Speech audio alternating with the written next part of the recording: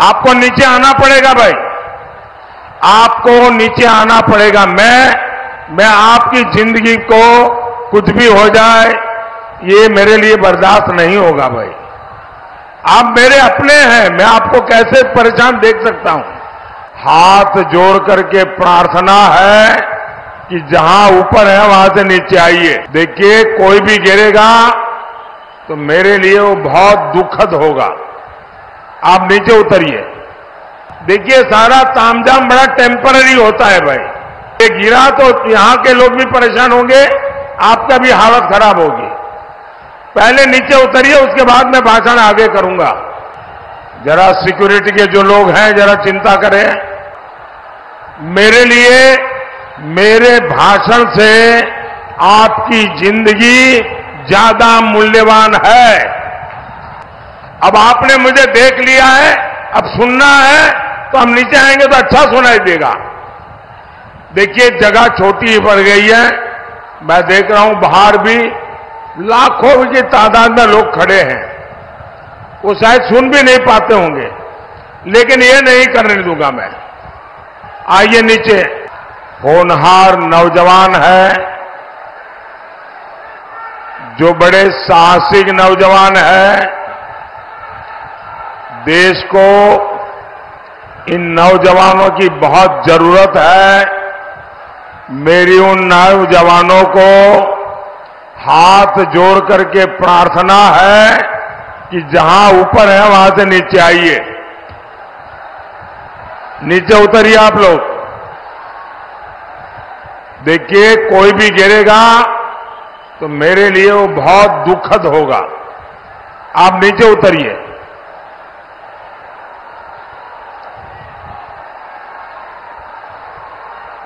जो एकदम पीछे भी अकेले अकेले बैठ गए सब नीचे आ जाइए। देखिए, सारा तामझाम बड़ा टेम्पररी होता है भाई।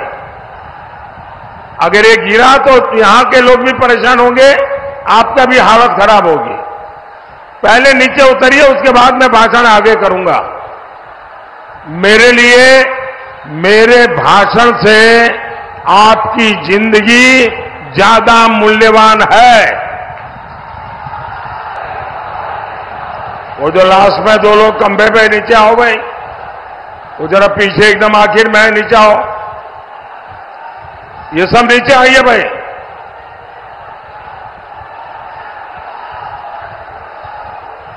जरा सिक्योरिटी के जो लोग हैं, जरा चिंता करें।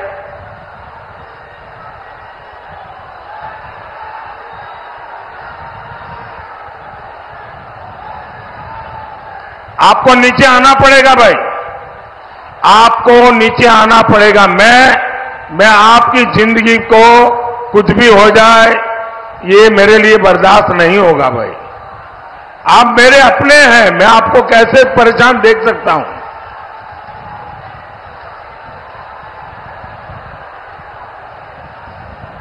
अब आपने मुझे देख लिया है, अब सुनना है तो हम नीचे आएँगे तो अच्छा सुनाई देगा। देखिए, जगह छोटी ही पड़ गई है। मैं देख रहा हूँ बाहर भी लाखों की तादाद में लोग खड़े हैं। वो शायद सुन भी नहीं पाते होंगे। लेकिन ये नहीं करने दूँगा मैं। आइए नीचे।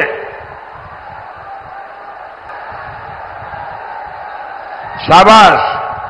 बहुत समझदार है सब नौजवान। हाँ शाबाश। अभी एक रह गया उधर। आ जाइए भाई, जल्दी। जरा उनको नीचे लाइए। अब वो चढ़ तो गए, लेकिन परेशान है कैसे उतरे। हाँ शाबाश नीचे आ जाओ भाई। नीचे आ जाइए। आइए।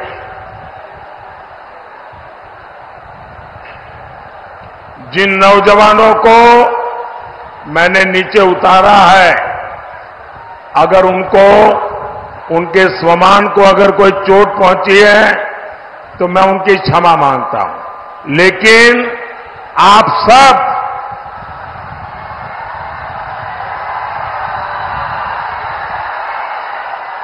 आप सब मेरे परिवार के सदस्य है।